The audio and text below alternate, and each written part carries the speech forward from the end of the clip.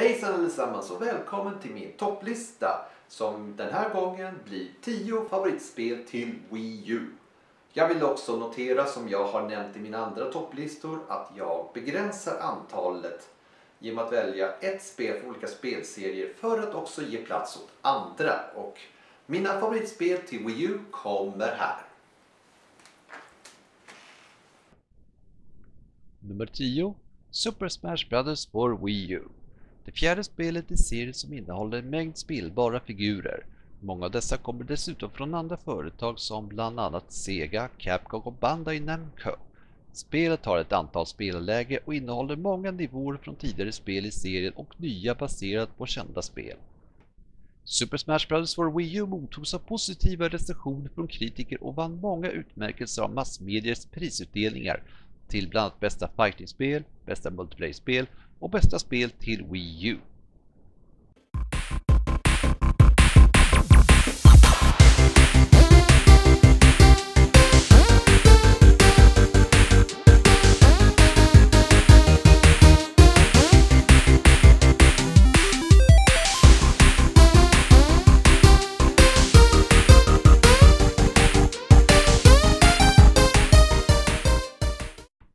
10. Nintendo Land ett av de första spelen som lanserades till konsoler som såldes även som bundlad utgåva tillsammans med Wii U.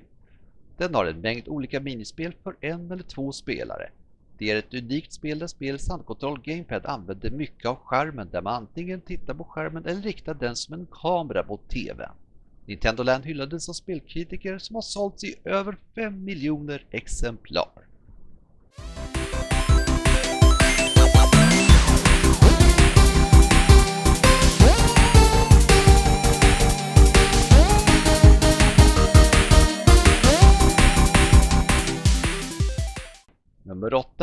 Shovel Knight Utvecklad av Yacht Club Games som finansierade produktionen med Kickstarter. Spelet påminner om plattformsspel till Nintendo Entertainment System där man styr en riddare som är ute på äventyr beväpnad med spade och magiska förmågor i kampen att stoppa ondska i ett kungarike. Spelet släpptes senare i uppdaterade versioner med nya äventyr där man spelar andra figurer. Shovel Knight hyllades för sin retroliknande grafik, musik och spelupplägg och har dessutom portats till en mängd olika format.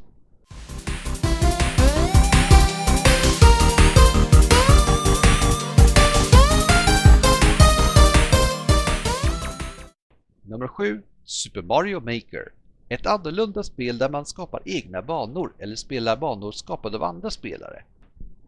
Här kan man skapa nivåer från Super Mario Bros, Super Mario Bros 3, Super Mario World och New Super Mario Bros U som har en mängd olika funktioner man kan välja valdesign, fiender, power-ups och olika hinder. Det är ett intressant koncept som har skapats av en mängd spelare med utmanande nivåer. För mig har jag spenderat många timmar med detta spel och spelat andras nivåer.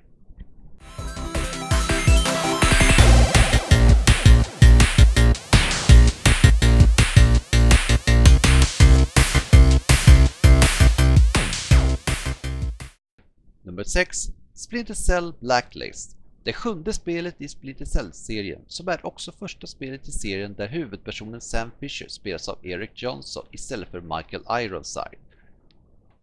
Splinter Cell Blacklist har många utmanande nivåer där man smyger i olika miljöer i kampen att stoppa terroristgruppen The Engineer som planerar nya attacker.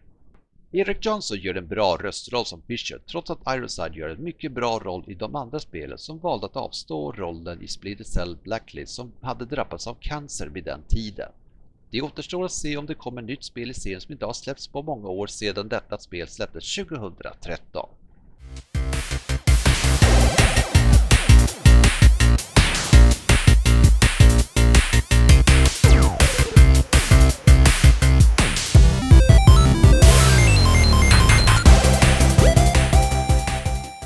Nummer 5 Splatoon släpptes 2015 som blev ett av de bästsäljande spelen i Wii U med över 4 miljoner exemplar.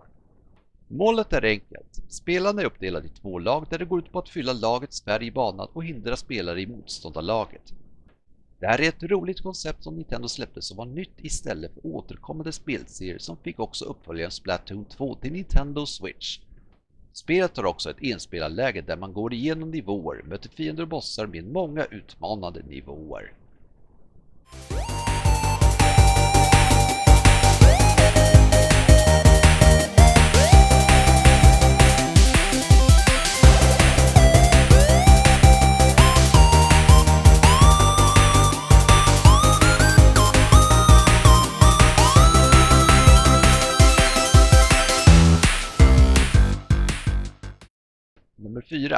New Super Mario Brothers U. Ytterligare ett spel som släpptes samma år som Wii U som även såldes bundlad. Upplägget liknar Super Mario Brothers Wii som påminner om de klassiska Super Mario-spelen. Det här är ett charmigt plattformsspel med många utmanande nivåer och återkommande figurer från spelserien. Spelet släpptes även i en ny utgåva 2019 tillsammans med New Super Luigi U till Nintendo Switch där man kan även spela Nabbit och Toadette.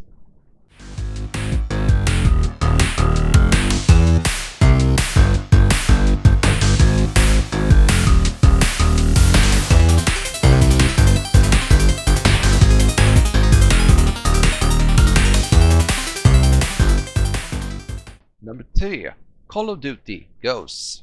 Utvecklad Infinity Ward som mottogs av blandade recensioner av spelkritiker som är andra spelet i serien som släpptes till Wii U och sista släppas till konsolen. Den har en spännande handling där USA blir invaderad av fiktiva Unionen Federation från Sydamerika som tog över USAs vapensatellit som förstörde delar av USA. Call of Duty Ghosts har en del intressanta nivåer av spelets kampanj där man bland annat styr en hund som smyger på fiender och nivåer som militärbaser och en skyskrapa. Tyvärr får vi inte veta vad som händer med spelets huvudperson Logan som blir förflyttad av spelets antagonist Gabriel Rogue som man trodde att han var död.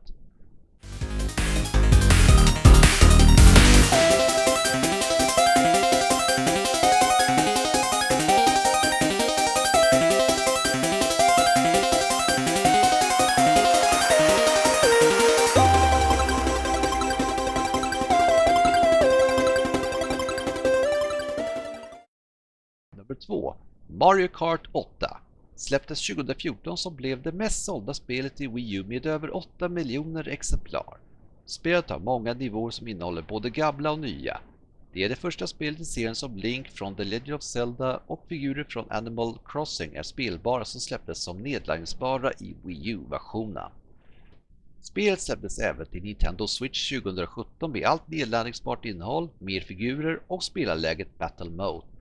Det här är ett roligt racingspel för alla åldrar så man kan hålla sig sysselsatt väldigt länge.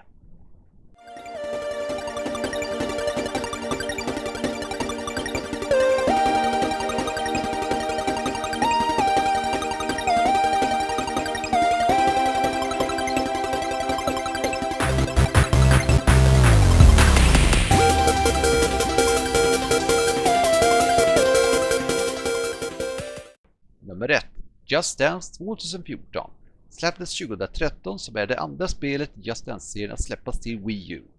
Första gången jag såg spel var på en spelmässa samma år som spel släpptes som visade låten Ghostbusters av Ray Parker Jr som är också en av mina favoritlåtar.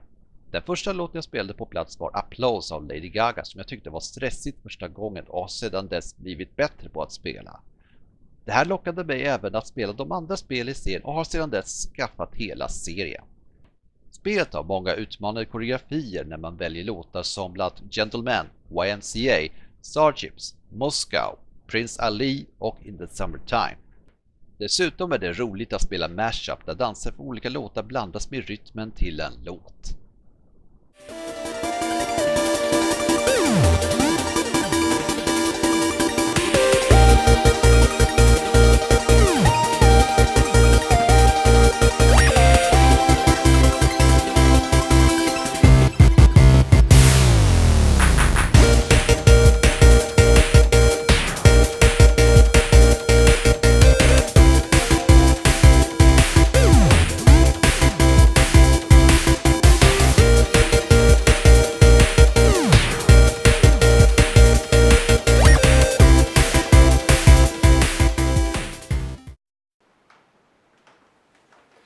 Tyckte ni tittare om denna lista? Vilka spel till Wii U är era favoriter? Kommentera gärna och se gärna mina andra topplistor här på Youtube. Hej då!